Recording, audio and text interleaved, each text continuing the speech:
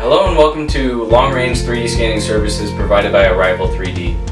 Using our long-range scanner we are able to capture a substantial amount of data from a single scan, allowing us to scan large sites such as buildings, factories, and plants.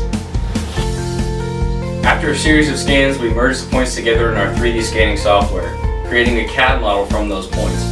These CAD models are useful in a multitude of purposes such as manufacturing, machining, rapid prototyping, and 3D printing.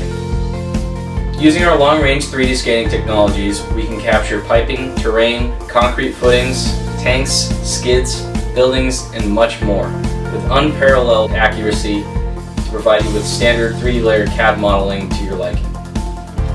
3D scanning is hands down the most accurate way to capture the as-built dimensions of almost any physical structure.